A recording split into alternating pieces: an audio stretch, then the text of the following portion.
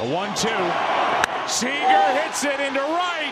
Back at the wall. It is caught up against. Tagging and scoring is Utley, and the Dodgers have their first Game Six lead, two to one on a sac fly by Corey Seager.